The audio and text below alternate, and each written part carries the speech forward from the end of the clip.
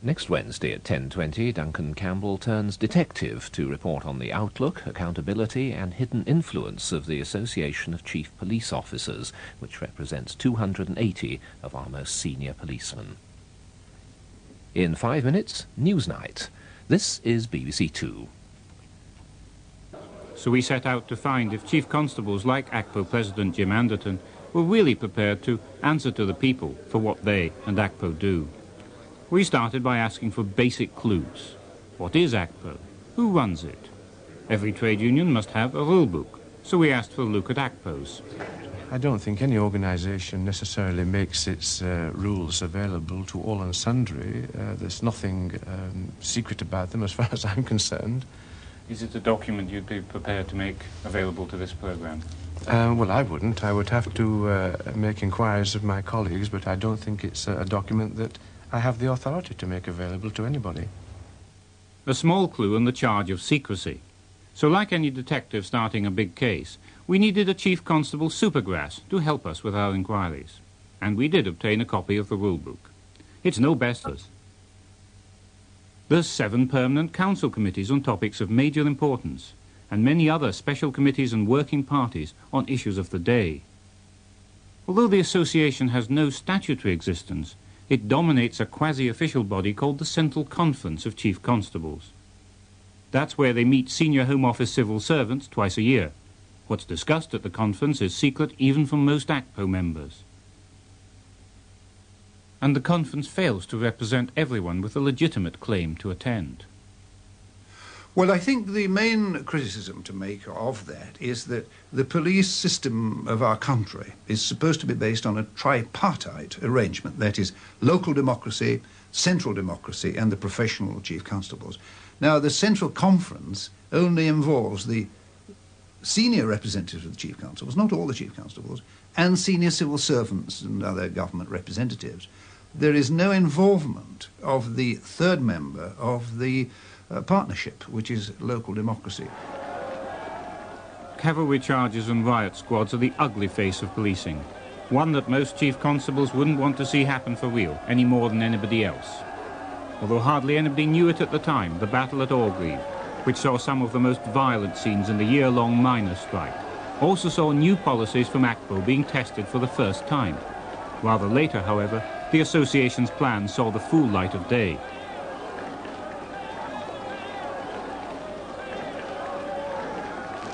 In complete secrecy, ACPO had issued members with a riot control manual laying down new and radical tactics for dealing with this kind of situation. In particular, the manual suggested special uses for shields and truncheons, uses which were at variance with official Home Office policy. But Home Office guidelines were put aside, and ACPO's suggestions prevailed. This is what local police standing orders, based on Home Office guidance, say about the use of truncheons for controlling a crowd. The use of the truncheon is only to be resorted to in extreme cases when all other efforts crowd and incapacitate missile throwers and ringleaders by striking in a controlled manner with batons. But since the existence of the manual was supposed to be secret at the, at the time when it became publicised, I think which just before Orgreave during the miners' strike, that many senior officers hadn't seen it. There was the famous incident of the uh, senior officer rebuking a group of men who were striking their shields with their truncheons. Uh, there was a lot of criticism of this practice in the press. Two or three days later, it was revealed that this is a tactic encouraged by the uh, riot control. Just close the document from the witness box. Parts of the manual were then deposited in the House of Commons library. It was and still is a most useful and helpful document. It uh, offers us uh, guidelines and uh, helpful information uh, upon how to deal with outbreaks of serious uh, public disorder. And dispersing and incapacitating is something that you regard as within the minimum use of force? Yes. Are we now talking about a subject of public disorder and riot, or are we discussing the role and function of the ACPO? Which well, is it? We're discussing the words used in the riot control manual. Well, I'm not here to discuss the words used in uh, a confidential police document. So ACPO pleads the suspect's right to silence. But did ACPO think of asking anybody else before suggesting that sort of tactic? The Home Office, the courts, and government law officers could all have had an important interest in the public interest. Why should we consult people outside the police service when we're determining operational policies and tactics? You happen to tell us it's been received from Leicestershire. And it, it, it, This National Reporting Centre was set up by ACPO at the very beginning of the strike. From the National Control Centre at Scotland Yard, units of every police force in England and Wales were being directed by a single commander, the ACPO president. ACPO called it mutual aid, but the critics said, now we have got a national police force. And when it came to intercepting pickets a long way from the pits they were trying to reach, different forces suddenly adopted the same novel tactics. ACPO certainly seemed to have put a new national policy into force. The individual chief officers would say that that was their decision, that the Chief Constable of Kent decided that people would be stopped at the Dartford Tunnel. Chief Constable of Northamptonshire and Nottinghamshire decided that people would be stopped on the borders uh, coming in. But it was a very similar policy pursued by most of the forces taking part. There were no policy directives issued at all from the National Reporting Centre, which, as you know, is under the overall control or command, as it were, of the president of the ACPO at that particular moment of time. If there weren't policy directives from ACPO, there certainly was an agreed policy. And what's more, a policy that was, quite simply, an attempt to reshape the existing law. The difficult thing about that is that pragmatically it might have been the right decision. It would perhaps prevented a lot of um, disorder and dispute. But there was no law then that allowed the chief officers to do it. Do you think those chief constables who did set up roadblocks so far afield and in so doing led the courts rather than followed them were acting outside the rule of law? It is However not, justified. it is not for me to comment on the actions of individual chief constables. Uh, You would wish to follow the courts yourself rather than lead them. I don't see the point or relevance of that question in the context of a discussion about the role of the Association of Chief Police Officers. So ACPO pleads the right to silence. After months at the centre of the news, police chiefs were well aware of the controversy that the National Reporting Centre had created. So they made a public display of dismantling the NRC when the strike was over. It'll never be put together again, at least not under that name. It's been retitled the Mutual Aid Coordination Centre. But its activities had shown the public how a national police force, or at least a national squad of riot police, would operate. That's the main evidence that suggests that ACPO could become the centre of a British national police force. We may get one, one day, fully, by whichever party was in power, then I don't think that would be a terribly good thing. Continental military-style police once seemed very alien to Britain, but this is a British police exercise in Birmingham.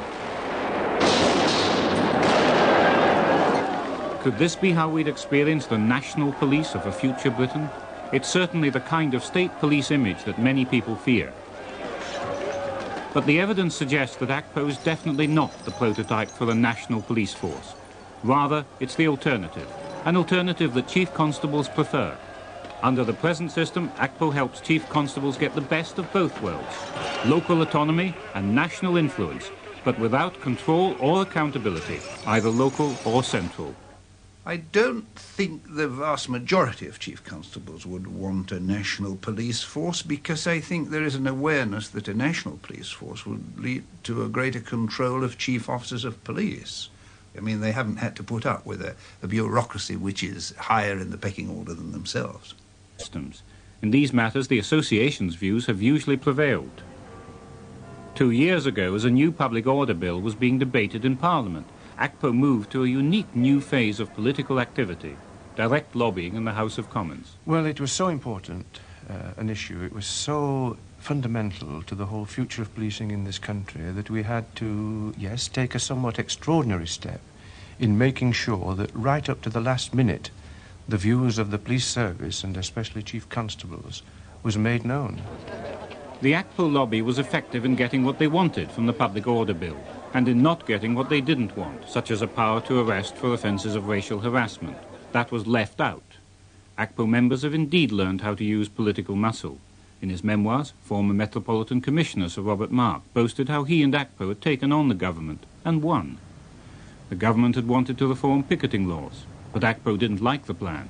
So from their Scotland Yard offices, ACPO telex to every chief constable, urging them to protest.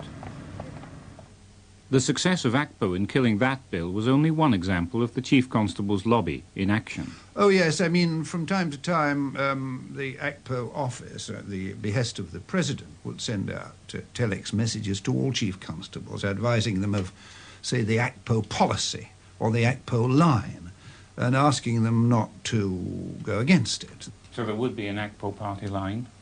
Yes, there would be an ACPO party line, which was usually thrashed out at the um, Chief Constable's Council meeting. Police Constable Brian Jones is the familiar face of the police. No flameproof suits, no riot shields, no truncheon battling. A friendly face on the streets, a face you can talk to, who'll tell you the time of day or the way to the bus stop. Go down here, you'll see the television shop, DER. If you turn left at DER... But coppers like Brian have another job to do, a job that isn't necessarily obvious in situations like this. He's expected not just to use his eyes and ears for anything going on round him, but to feed it all back into central files, acting as the front line of an intelligence system, a system designed by, guess who? Criminal intelligence is material which is um, collected virtually on all and sundry. It's not um, information or intelligence dealing with terrorists or subversives. It's um, information which is picked up by local community policemen, area constables, your friendly Bobby, um, about the everyday lives of very ordinary people. Um, police constables are told down their road and pass that information on to the police. That means not just watching for crime, but assiduously gathering information about people and events and indexing it away. About 12 years One informant in every street. Make himself known to local officials. Anyone who has legitimate access to private houses and premises and is in a position to give information. Cultivate shopkeepers, tradesmen and garage proprietors were always good sources of information. Not this morning. Not, not so far anyway. I keep my eyes open. I've never used the phrase an informant in every street, but if there was somebody in every street who was uh, concerned enough um, to keep a, a, an eye out for anything that he believes is wrong or hears is wrong, then I'd be very glad if he. A young girl, 16 years old, is, is, is stopped in the street. She has got uh, shocking pink hair and is three months pregnant. Full stop. End of story. Uh, there are other comments. say she was a criminal or No, no, no, no, no, no, no, no. Uh, I analysed these reports and um, found that the, the number of people who are stopped and checked in uh, are- are enormous, but the hit rate, the, the arrests that come, uh, are minimal. You can make what you will of the collection of intelligence and you can make it sound like some horrendous 1984 situation. It is nothing like that. And we are asking everybody, as the Anglo Saxons did in feudal days, the extent of crime. The people who've What can possibly be wrong with that as a fundamental human, common community practice? Nothing. While doing an official study with the police, Richard Kinsey estimated that 60% of those whose police intelligence files he saw had no criminal conviction. These people could include the relations of criminals, innocent witnesses, suspects, even victims of crime. So what sort of information... Oh, or about criminal intelligence. I'm sorry. It's about the guidelines, the ACPO guidelines. I phrased my question in that way to refer to the guidelines. How we collect and uh, collate and analyse intelligence is a matter for chief constables. It's not a matter for public discussion. So ACPO claims the right to silence. Again. So who does control policing policy in such sensitive matters as intelligence files? Especially now the files are going onto computers. Local intelligence systems have become absolutely standard throughout Britain. ACPO's reports and guidelines, adapted to suit by individual forces, tell police officers what to look for and what to file away. At the national level, a central police computer has been established in Hendon, North London. Because of the usual policing sensitivities, it's called the Police National Computer, not the National Police Computer. The PNC is linked to police headquarters all over Britain, and from there by radio to every police officer on patrol, like PC 3092, Eddie Henderson, on the Newcastle beat. M12B from Tango 3092. Tango 3092, go ahead. A vehicle check, please. 3092. Could you go ahead, VRM, please? It's Charlie 91. The system means that a vehicle check to see what the national computer knows about it can be obtained by members of any police force in Britain. The Police National... They found that many major investigations, like the search for the Yorkshire Ripper, got badly bogged down in laborious paperwork. Key pieces of information remained buried in endless filing cabinets full of index cards. In replacing the cabinets with computers, ACPO, not the Home Office, was firmly in the lead. In a series of regular ACPO reviews of the police use of computers, the Home Office's only role is to be thanked for doing the typing. Police special branch officers have to protect senior government ministers when they're in public, but the majority of special branch officers work well away from public view, gathering intelligence on potential threats to public order. That's very political and consequently very sensitive work. But ACPO, not the Home Office, wrote the guidelines specifying special branch duties. Fourteen years after that, a House of Commons Select Committee decided to look at the special branch. Only then did the Home Office issue their own guidelines, for the very first time. So what happens under this system if ACPO says one thing and the Home Office wants something different? Can the Home Office just say no? We've already seen that in the heat of battle at Orgreave, it was ACPO's guidelines that operated, even though they were different to Home Office policy at the time. Of course, the association doesn't always get its own way. Over office uh, want them to do, the chief constables will win. So as a body, you are at liberty within the law to go off in your own direction, ignoring what the Home Office says. Well, when you say ignoring what the Home Office says, I think that's putting it rather strongly. Um, clearly, we have to do what we believe is right in any given set of circumstances. If ACPO wished to, to be opposed to a central government, it would be able to do so up to a very high point, I think. I think you would need a change in the law to alter that. Now, having reached the giddy heights of ACPO membership, and that means above the rank of chief superintendent, how do you make it to the very top of the association itself? Not for this trade union the uncertainties of secret ballots and elections. Uh, selection is put before the audience, they're invited to um, accept him. It's a matter for the annual general meeting of our association whether or not they are prepared to endorse a year's vice president as Mr. Anderton was elected this morning as the president of this association by his fellow members without any demur or issue or otherwise. Does anyone ever say no to the existing hierarchy of ACPO appointing their successors? Uh, not up to now. And I cannot think of a very good reason why they should.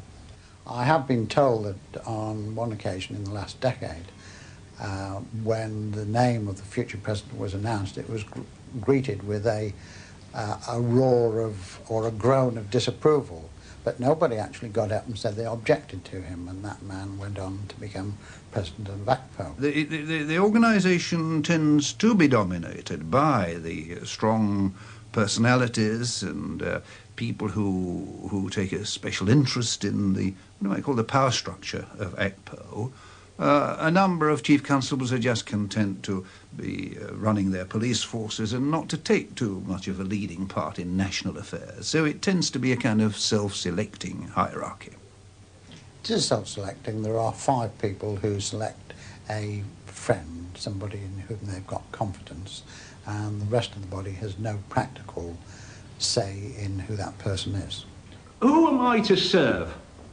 Am I to At local level, however, chief constables can and do speak their minds to local police authorities. Officially, the chief constable answers to the authority, but it's not always clear who's telling who what to do. I serve the people who are being beaten, and this committee does too. And don't forget it.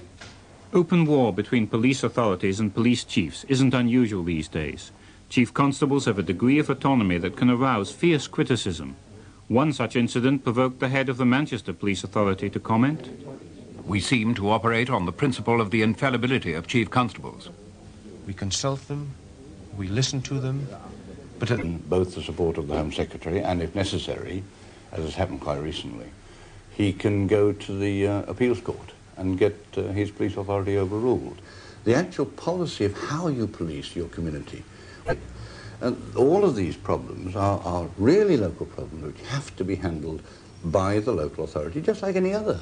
It's a question of, I mean, we know, for example, that the, the, the, the police can't enforce every law in the book. It's impossible. They make choices.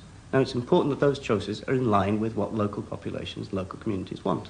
I think at the present time, nobody quite understands the nature uh, of the. To have a politically directed police force, even if determined by a democratic process, I personally feel that that would not be in the best public interest.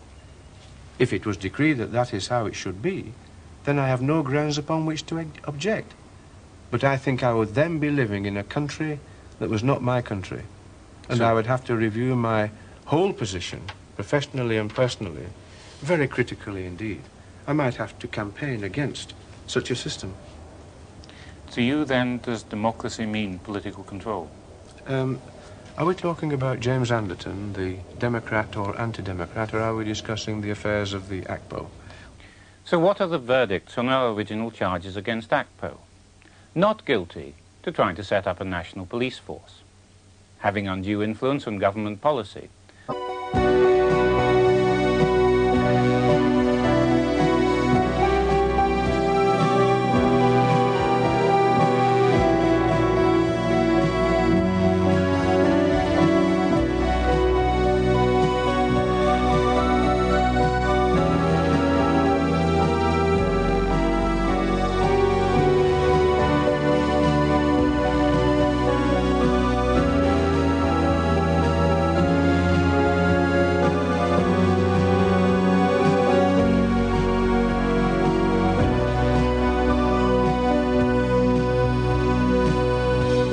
Wednesday evening at 10.20.